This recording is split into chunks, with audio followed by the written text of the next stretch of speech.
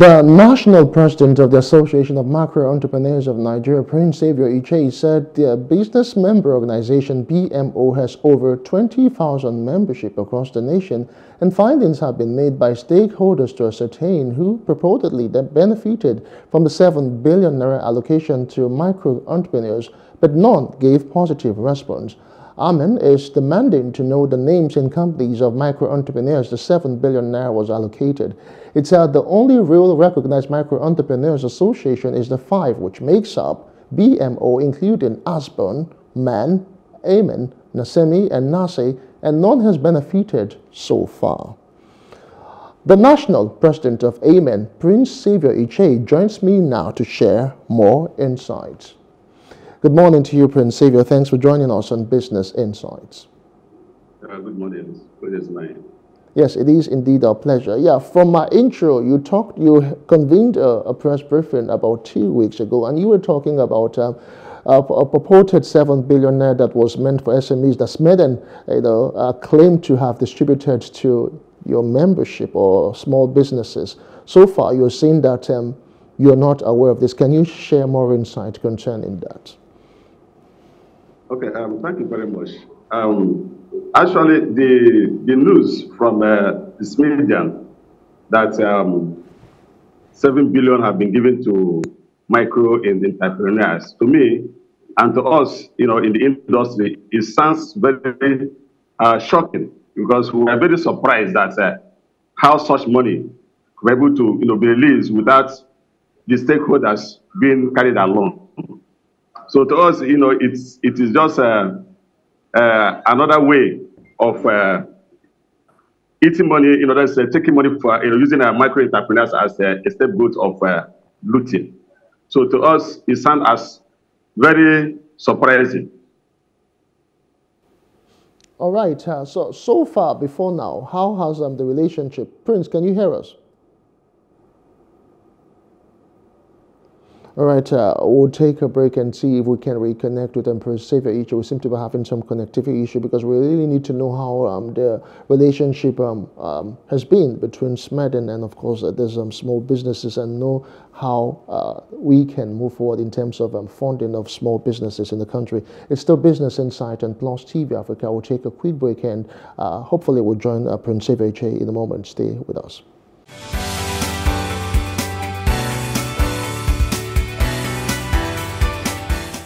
All right, welcome back. It's still Business Insight and Plus TV Africa. Before we took that break, we are speaking with Prince Xavier Iche, and we're looking at small uh, business funding in the country and um, the role or inactions of SMEDAN. Uh, Prince uh, Iche, thanks for staying with us.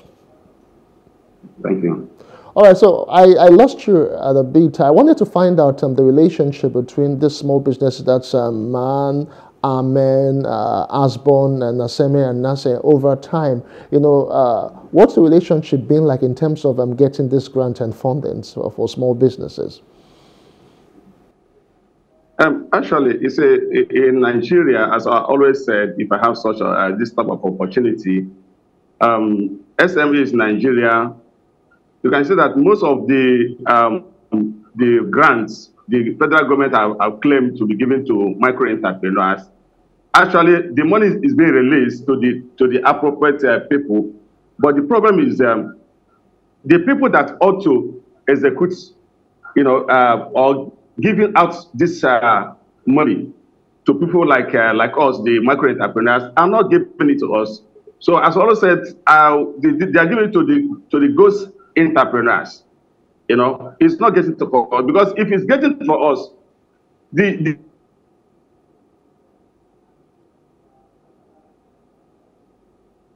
the problem Nigeria is facing now, the, the issue of uh, rising cost of dollar and everything is is attributed to uh, non-efficiency uh, of, of the micro entrepreneurs in Nigeria. And what is the cause?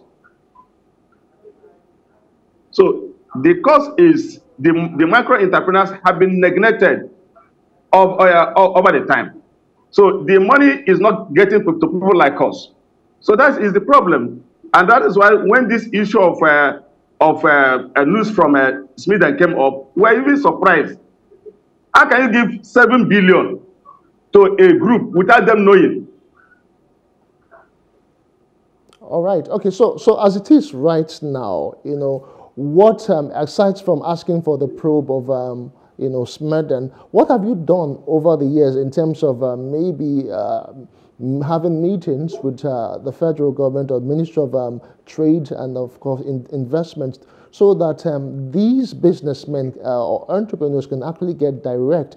Since over the years, uh, issues of um, you know financial infractions have um, come to bear when it comes to disbursement of um, these fundings? Yes, um, before that, we have bring uh, uh, most of uh, you know options, some um, intervention, some ideas, you know, to the federal government. We have told them that this money, instead of putting this money online, because you are applying for a loan online, we don't know actually if we are successful or not. The advice we are giving to, to government is they should keep this money in commercial banks where every entrepreneur can go. All right, there will be an entrepreneur desk where we can go there and the, they can be able to assess us. All right. Okay. When they go there, they can be able to know through our data if really we are entrepreneurs or not. But in a situation whereby it's, it's been applied online, you there's nobody that's there's you cannot be able to hold one or two person responsible if the money is not being given to us. So that's the problem. All right. Okay. So just uh, recently, too, um, the BOI uh, was in the news and it said something about also releasing funds uh, to small businesses. Uh, are you aware of this funding? And so far, uh, how have um, small businesses been able to benefit from the BOI in terms of um, funding? The, the, let me tell you the truth.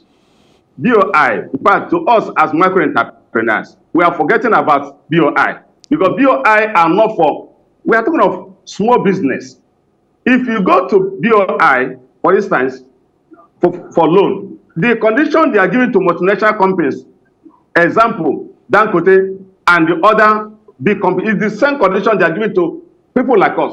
People who are going to, to uh, uh, for loan of uh, 2 million naira, 5 million naira, it's the same condition. And none of us can be able to meet this condition. And I've challenged Bank of Industry most times to, to write or bring uh, uh, into the limelight the people they are giving this money. Who are they giving this money? If really they are giving this, uh, uh, give this money to micro entrepreneurs, Nigeria will not be, be, be dependent on, on foreign products. Right? So yeah. Nigeria will not depend on foreign products. So this money I'm not getting for, for, for like because Bank of Industry, I've challenged them to that number and I've called them anytime I'm ready to face them, all right, on the national television or anywhere they want, let them come and bring the facts, the figures, the names and the addresses of the people that they are giving the money.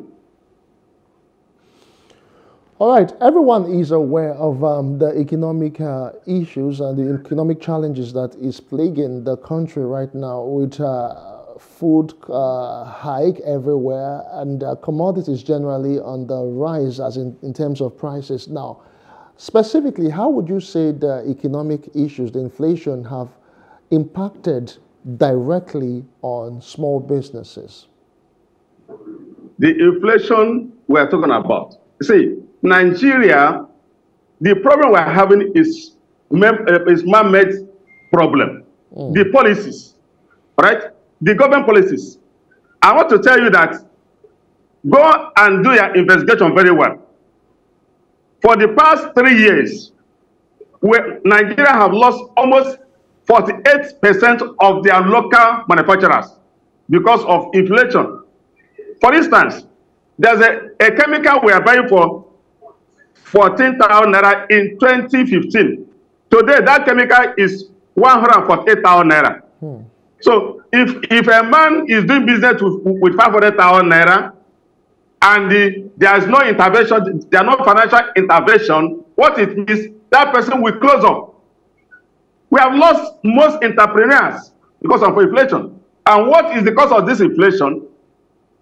The at the border or at, at the wharf, the government keep on increasing the, the tariff, increasing the amount that the, the importers are using to clear their, their, uh, their goods in the world. Of, uh, of, recent, for three, for three, they have increased the, the money for in the world for three times now. Mm. As of uh, the last time it, it was 9.9.5 million. But so today is about 100 and, and something million for you to clear one, con uh, one container. What the government will do in order to save us the remaining 52% of micro enterprises not to die is at the wharf. They should they should reduce the the the, the tariff, the money they are using to, to, to clear goods, especially chemicals, machineries, and every other thing that con that concern oh. micro entrepreneurs. If they can be able to reduce oh. the cost of uh, the cost of clearing goods in the wharf, the price will come down naturally. All right. All right, Prince um, Xavier Iche, uh, I'm afraid that's as much as we have time for on the show this morning. But uh, we must say a very big thank you to you for all of this insight that you have mentioned today. And of course, this issue of SMEDAN, we just trust that um, the issue will be nipped in the bud. So small businesses can actually get this funding and not um, just on the pages of newspapers and television like we usually hear. Thank you so much once again for your time. Thank you for having me. All right, and that's the size of the show. My guest has been Seve Che, the president, national president of Amen, and um, I am Justin Academy. Many thanks for being a part of the show. I'll see you again next time. Bye for now.